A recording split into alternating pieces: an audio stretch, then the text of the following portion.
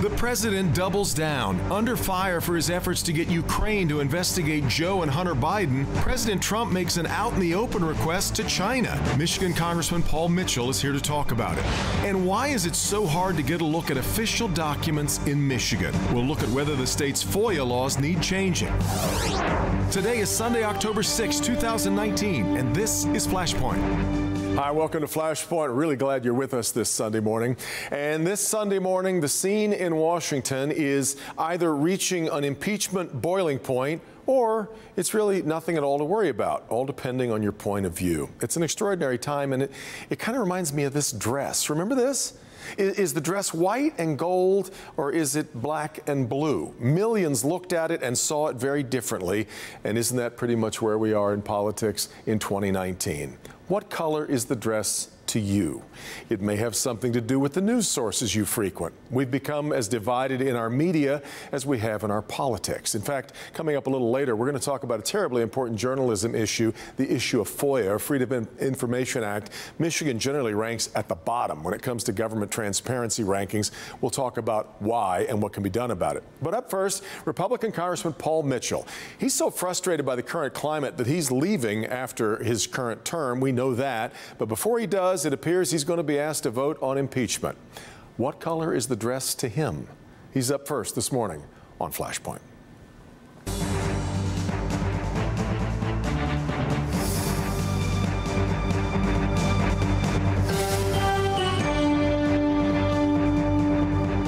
For so long, we heard the president say over and over again no collusion, no collusion, no collusion. It's been his oft repeated synopsis of the Mueller report.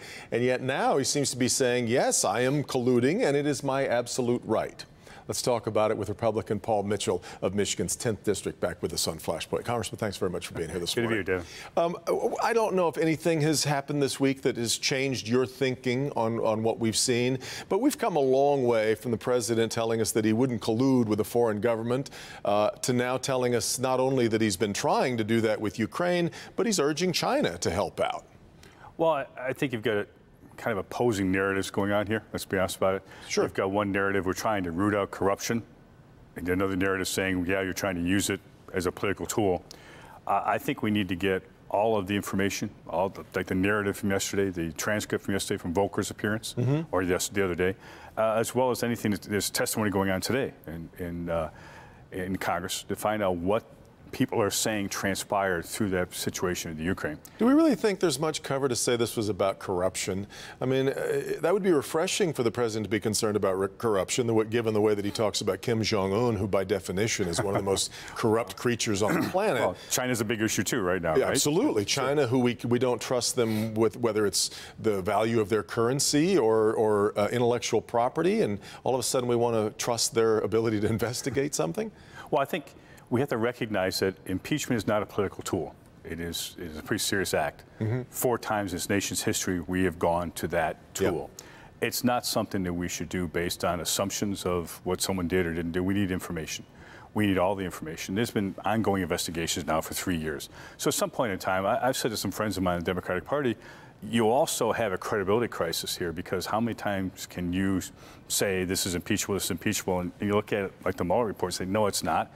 Uh, so the question is, let's get all the information. Let's get all the information about this conversation that transpired a series with Ukraine and, and see if there's a there there right now uh, hasn't done anything that's impeachable. The question is, is it underlying there a problem? Isn't part of the president's problem, though, the way that the story always shifts? I always thought what gave the Russian investigation so much life was all the lying at the beginning of it over who met with Russia, when, uh, how many people, what they talked about. It was about adoption for a while, all these crazy things, which gets people who are in the investigative world up on their haunches.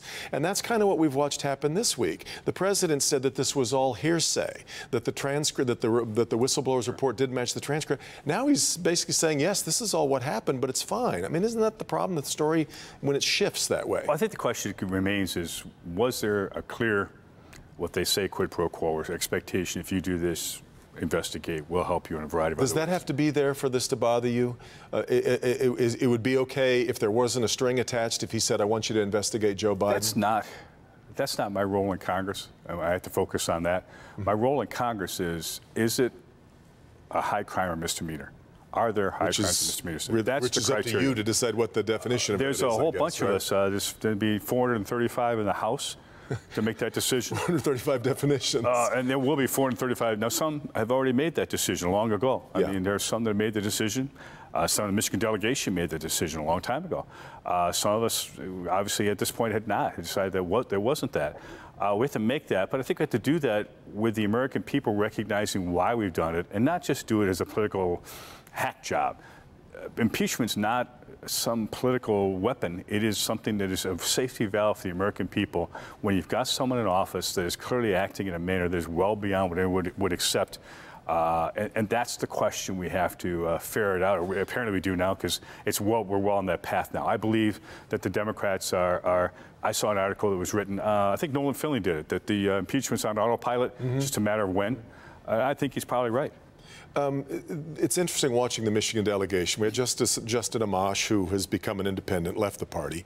We've also got Fred Up- Upton now saying that he thinks that the impeachment inquiry or looking into these matters is at least appropriate. But I'm curious as to whether you see much shift among other Republicans, or is everybody still uh, very much locked into support of the president? I don't know if it's a matter of locked in. It's a matter, I think, of uh, waiting to get information. I think uh, most of the delegation, at least my colleagues on the Republican side, say the same thing, which is okay, if we're going to do this, then let's get all the information. Uh, making decisions based on dribs and drabs, what's released and leaked and not leaked, is a terrible way to, to make decisions that are this, uh, mount, this, this important. This is historical stuff we're talking about here. The president, of course, memorably said he could shoot somebody on Fifth Avenue and, and he'd be fine. And I think a lot of people see the way that uh, you you have been an exception and that you have been occasionally willing to call out the president for things. Some would say that's because you're not running for re-election. I did that before that long ago. But but but the president uh, can can do absolutely no wrong to a lot of his supporters, and that's that's interesting to me because I don't know that we've ever had a president who could never do any wrong. I, I can't speak for others. I, long before I made a decision about running or not, it was actually in the first term, in my first term, I made a comment about the Charlottesville situation. Right, right. Uh, I, On know, this program, as, as I, I think it probably was. Yes. Uh, I think that um, I simply pick and choose my points where I think something's particularly egregious, rather than see if I can find something to criticize. Because any given day, we could do that on both sides of the aisle. Mm-hmm. Uh, for example, uh, Kevin McCarthy, the, leader of the Republicans, sent a letter to Nancy Pelosi about, okay, if we're going to do an impeachment process, then let's have a process that really provides both sides the ability to defend themselves, to move forward, uh, based on historical precedent. And she basically sent back a letter that effectively said, go pound sand. Uh, the American people need to see that we're handling this in a, in a responsible manner.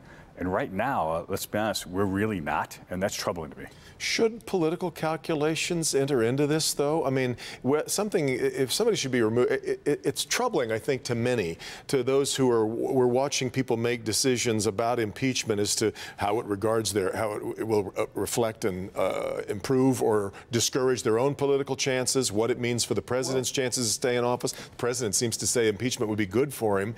Those, I mean, either somebody should be out of office or not. Uh, Isn't but that that's right? part of the that's part of the you talk we and I talked last time. It's part of the overwhelming problem in Washington.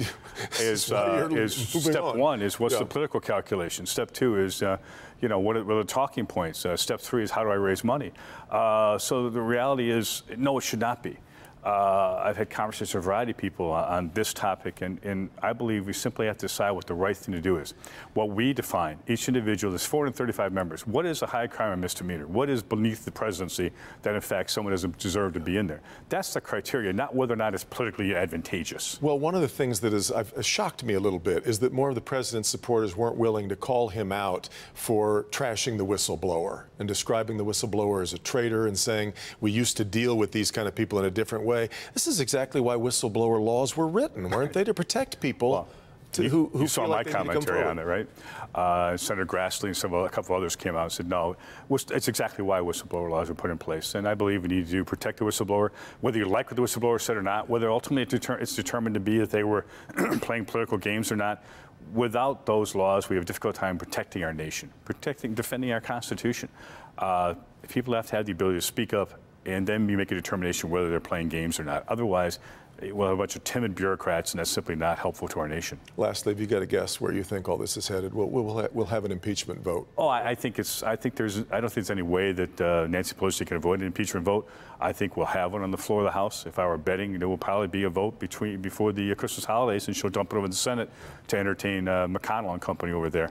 I think that's what will happen. The question is, let's do the responsible thing on this. Let's make sure the members, as well as the American people, have all the information because they, they need to see us operate with the best interests of this country at our heart and not political uh, opportunism. Congressman Mitchell, it's always good to have you on the program. Thanks good so to see for being here. You too. We'll continue with uh, more on this. This is Flashpoint on Local 4. Back with more in just a minute.